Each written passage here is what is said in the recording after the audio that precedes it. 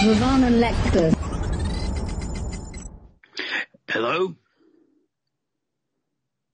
Hello? Can you hear me? Can you hear me?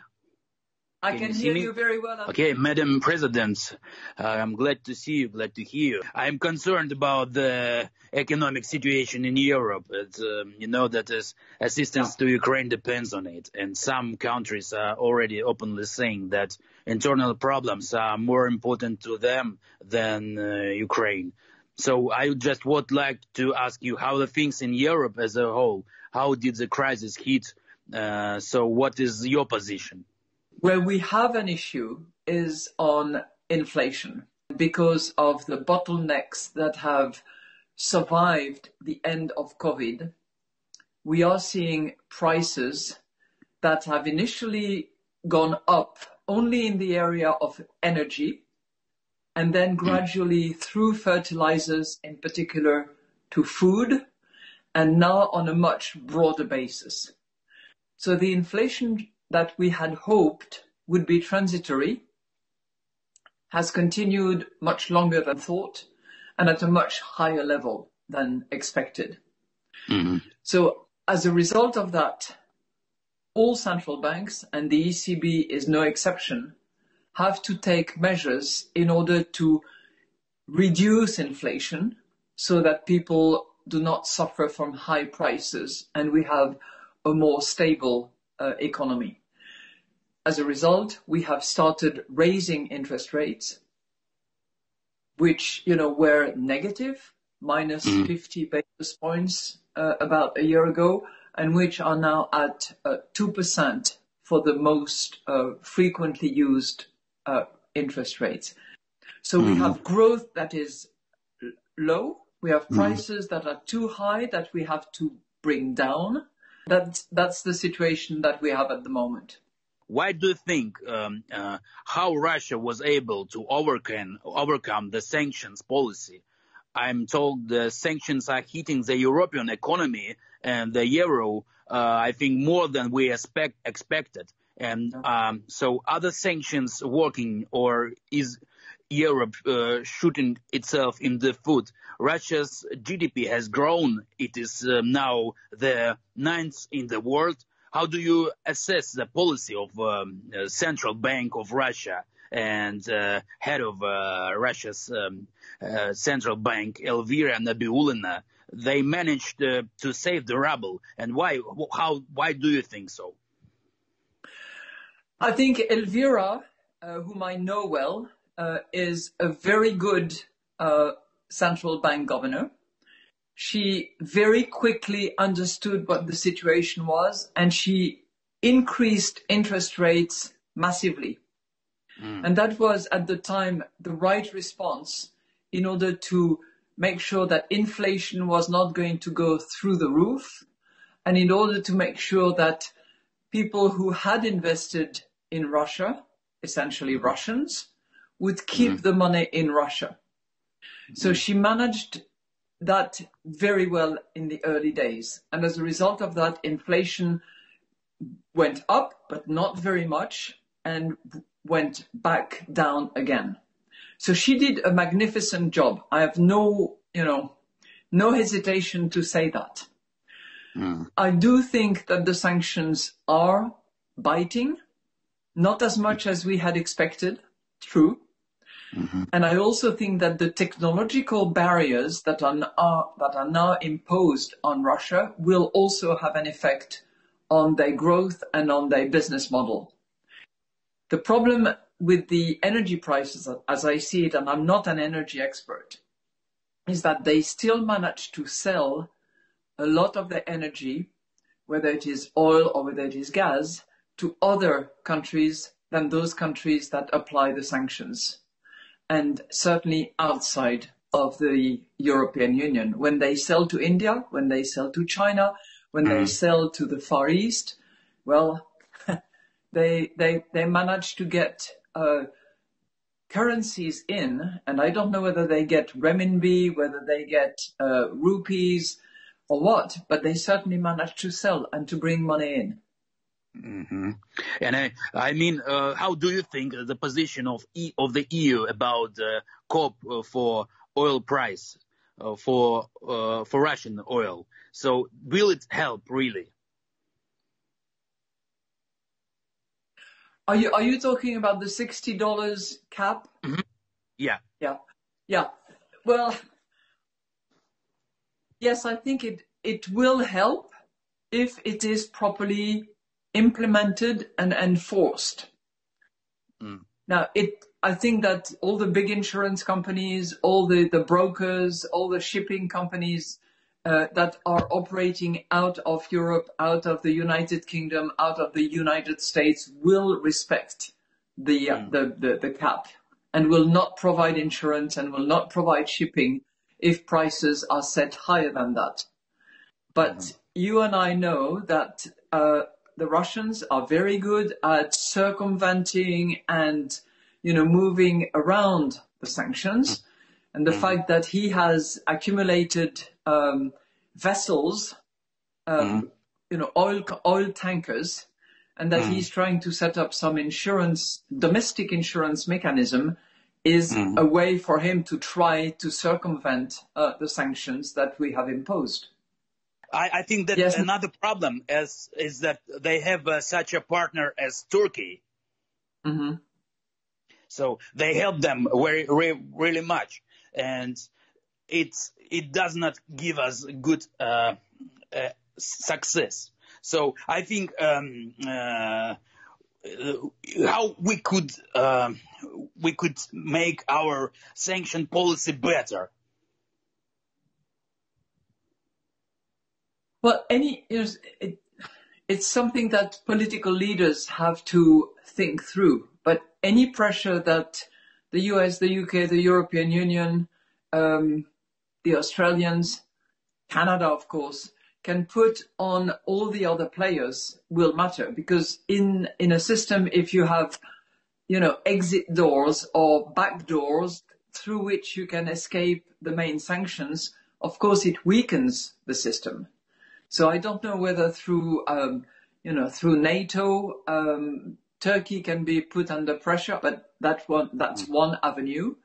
Turkey is playing a funny game because, you know, by, by blocking or announcing that they will block Sweden and Finland, of course they mm. put themselves in that good bargaining position and it's difficult to put very much pressure on them when you ask them to vote for Sweden and Finland. Mm. But it's all the, you know, all the countries of goodwill, the coalition of the willing to support Ukraine that have to really put other other countries under pressure. There will be, you know, there will be a G20 in India coming up soon for the finance uh, ministers and the central bank governors, and I think it would be a good occasion to remind all the other G20 leaders of their duty for peace and their duty for stability, because if they don't respect those rules, then stability uh, is an issue. I think that it's not a good uh, game for Turkey, especially. And by the way, I just want to ask you, what is how how is your opinion? Who has a worse situation uh, among the EU countries now? Who had uh, suffered more? Yeah, if if I look at uh, if I look at my inflation numbers, which is the barometer that I use, the countries that are closest to Russia, surprise, surprise, like the Baltic countries, mm. are taking a huge big hit because they were trading partners, because there is a political risk that is associated with them. So they are the ones that have the worst uh, numbers. If you look at, you know, debt uh, to GDP, mm. a country like Greece is mm. at risk, but it's not a big risk because a lot of their uh, borrowing is with uh, quasi uh, official institutions like the European Stability Mechanism. The other country that has a high debt to GDP is Italy, of course. So I'm, I'm also worried. So you, it's a half of our loans is uh, uh, the U.S. loans, and uh, half is 50 percent is this is uh, from eurozone. So it's hmm. also impact on uh, um, currency rates. And my question is, what is the maximum inflation uh, you see in Europe this year? Hmm. You know, every, everything has been a surprise uh, in terms of uh, economic projections, in terms of inflation. So it's it's hard for me to say, but the official projections that we have put inflation at around seven percent for 23. I, I will have to double check the numbers because I think I'm I'm giving you a number which is a bit on the low side. It's it's probably a little Mhm. higher than that. At this time, I think it's uh, pretty hard to have uh, right forecasts. You know, that situation is uh, going uh, unstable. So, so do you think is it possible to increase uh, uh, to increase um, rates uh, to four persons uh, for ECB? But that, that, you know, I wish I could tell you. I wish I had a crystal ball to say that, but I, I, I cannot um, say so for, you know, at this point in time. It's going to be a factor of impact of our action, Mm. level of inflation, scope, you know, does it apply only to energy? Is it food? Is it services? Is it, we have multiple ways to measure inflation. What I know Mhm. is that it will, interest rates will continue to rise inevitably. But up Mhm. to what point? What will be the terminal rate? When will we reach the terminal rate? That I cannot tell you. I don't know. My my economist, my Yeah. economist said my economist said that in negative uh, forecast, interest rates uh, in ECB could reach four percent.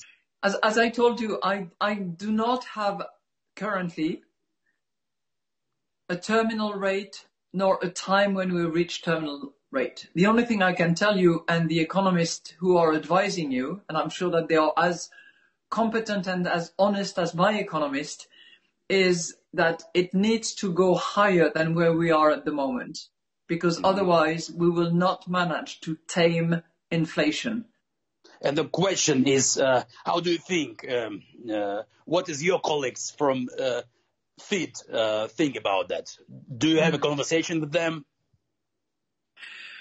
We not only, yeah, we do of course have conversations. We exchange a lot, and actually, I will be seeing uh, Jay Powell tonight. We have dinner tonight.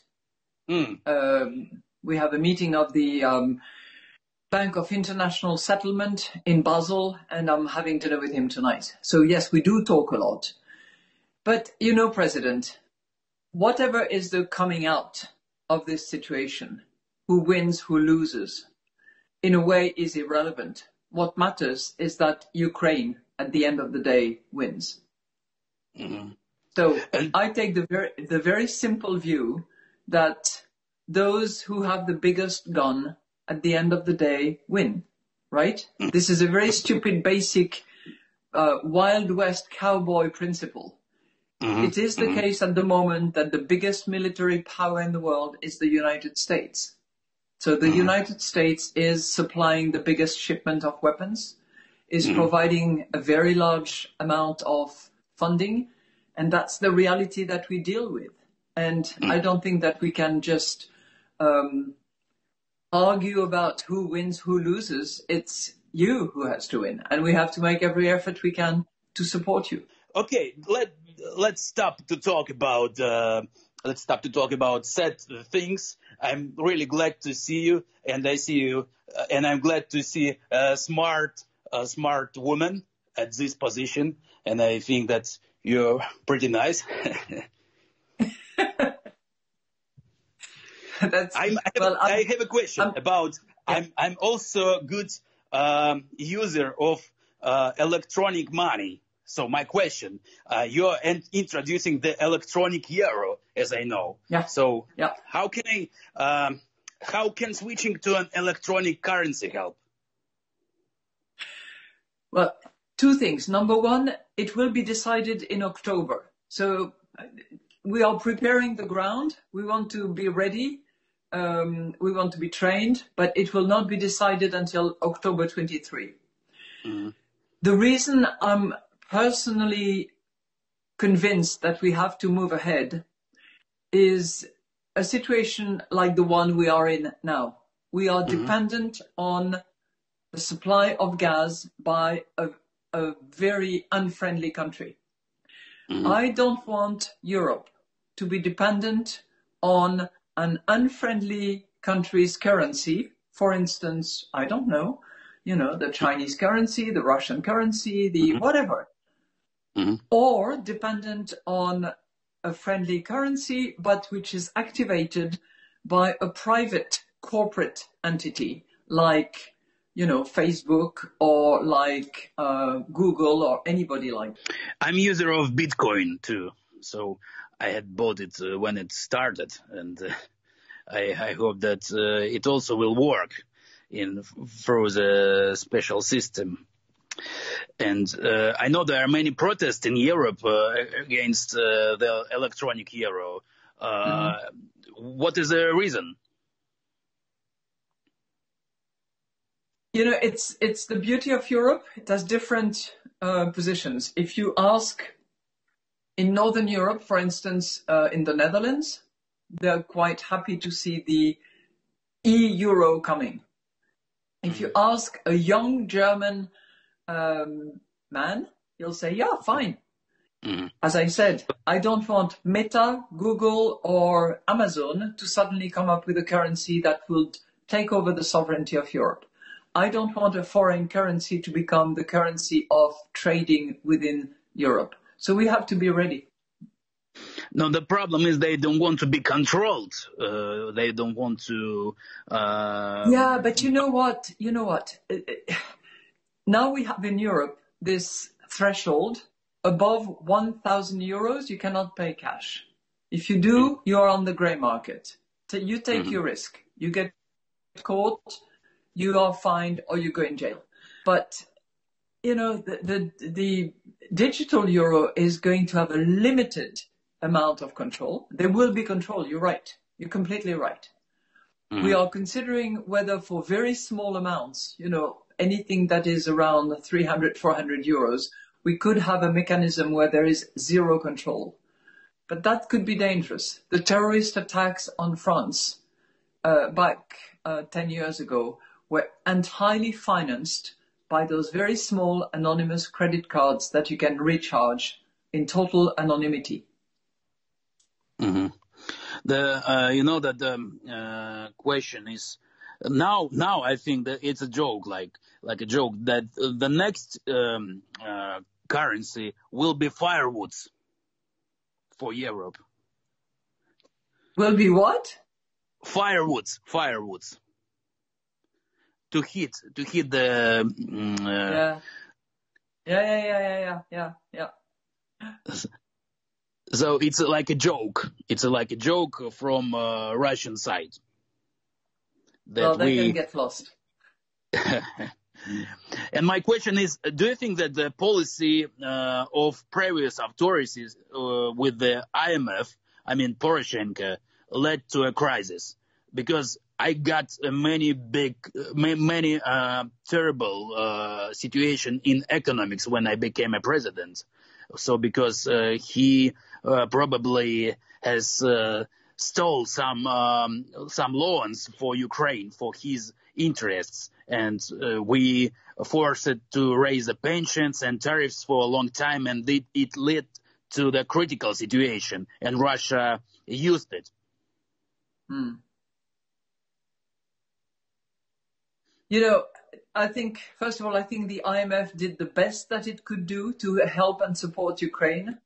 Um, you know as well as I do that the country was not in perfect shape. Uh, you know as well as I do that there were some, some very strange characters who abused the situation, who had their own militias, who had their own system that certainly took advantage of what was um, tried both by the IMF, by the United States in order to help Ukraine. But, you know, you cannot rewrite history. And I think mm. that at the time, the loan by the IMF, the program that was initiated was necessary and had it not happened, would have been devastating for Ukraine. So was it 100% well implemented? Certainly not. Thank you, Madam President. Thank you very much. I'm really Thank happy you, to talk to you. Thank you. Have Same a great here. day with your colleagues. You too. Okay, thank you. Nirvana Lectures.